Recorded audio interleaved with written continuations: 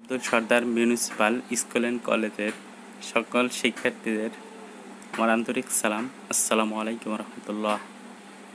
আশা করি তোমরা সকলে ভালো আছো, আলহামদুলিল্লাহ। আমিও ভালো আছি। আজ আমি তোমাদের সপ্তম শ্রেণির বাংলাদেশ ও বিশ্ব পরিচয় ষষ্ঠ অধ্যায়, বাংলাদেশের নির্বাচন ব্যবস্থা সম্পর্কে একটু আলোচনা করব। তোমরা বই এবং একটি পেন্সিল নিয়ে বসো। আধুনিক গণতন্ত্রের অন্যতম ভিত্তি হলো নির্বাচন। আধুনিক গণতন্ত্রের অন্যতম ভিত্তি কি? নির্বাচন। এখানে আন্ডারলাইন করো।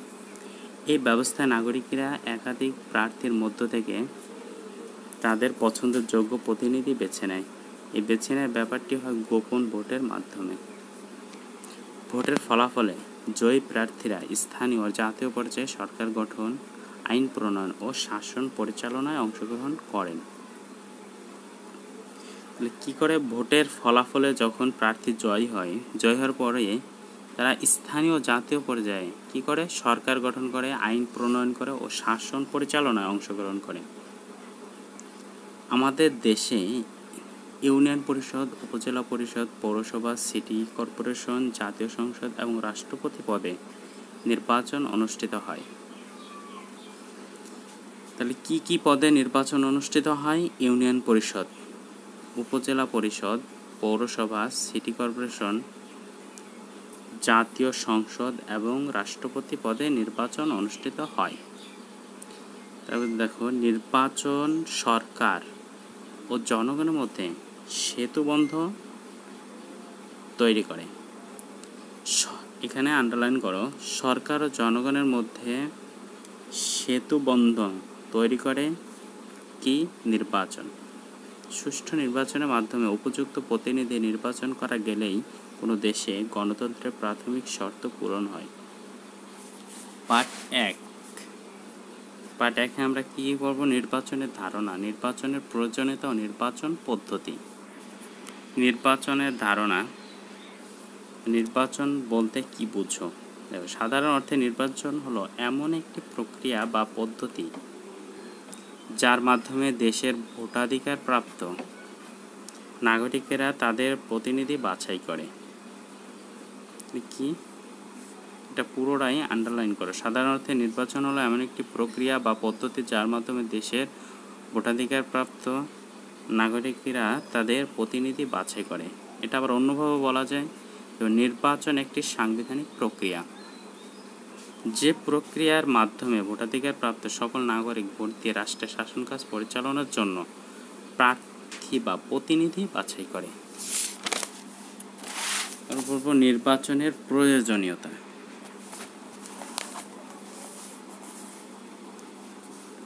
আজকের দিনে একটি দেশের বা শহরের সকল মানুষ একত্রে মিলিত হয়ে আইন প্রণয়ন বা দেশ শাসন করবে, এটা সম্ভব নয়।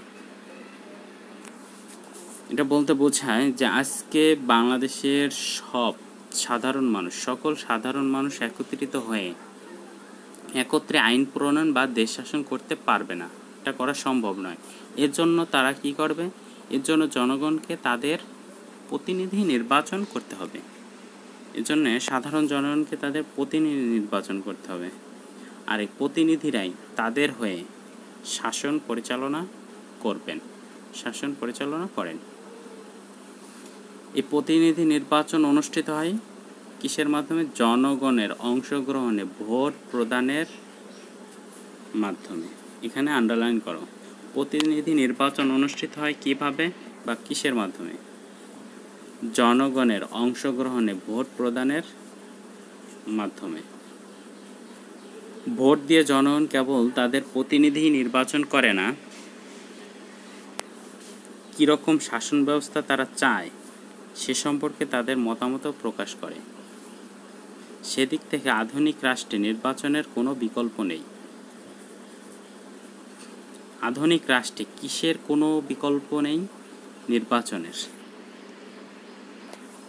তারপর দেখো, বর্তমান বিশ্বে যত রকম শাসন ব্যবস্থা প্রচলিত আছে, তার মধ্যে গণতন্ত্রকে সর্বোত্তম শাসন ব্যবস্থা বলে বিবেচনা করা হয়। তাহলে এটা পুরোটা আন্ডারলাইন করো। বর্তমান বিশ্বে যত রকমের শাসন ব্যবস্থা প্রচলিত আছে, তার মধ্যে কি সর্বোত্তম শাসন ব্যবস্থা গণতন্ত্র। আর নির্বাচনই হলো গণতন্ত্রের ভিত্তি। তাহলে গণতন্ত্রের মূল ভিত্তি কি? গণতন্ত্রের মূল ভিত্তি নির্বাচন। এবার দেখো, গণতন্ত্রের মূল কথা হলো নাগরিক বা জনসাধারণের মতামতের ভিত্তিতে সিদ্ধান্ত গ্রহণ। এটা আন্ডারলাইন করো, গণতন্ত্রের মূল কথা কি? গণতন্ত্রের মূল কথা হলো নাগরিক বা জনসাধারণের মতামতের ভিত্তিতে সিদ্ধান্ত গ্রহণ। আর নির্বাচন হলো জনমত প্রকাশের প্রধান ও বিধিসম্মত প্রক্রিয়া। সুতরাং নির্বাচন ছাড়া গণতন্ত্র চলতে পারে না। কি ছাড়া গণতন্ত্র চলতে পারে না? নির্বাচন ছাড়া। এবার দেখো, নির্বাচন পদ্ধতি। নির্বাচন পদ্ধতি। নির্বাচন পদ্ধতি কয় ধরনের? নির্বাচন পদ্ধতি দুই ধরনের। একটা হচ্ছে প্রত্যক্ষ নির্বাচন, আরেকটা হচ্ছে পরোক্ষ নির্বাচন। আজ আমরা এ পর্যন্তই পড়লাম। আজ তোমাদের এখান থেকে পাঁচটা প্রশ্ন বাড়ির কাজ দেওয়া থাকল। আসসালামু আলাইকুম।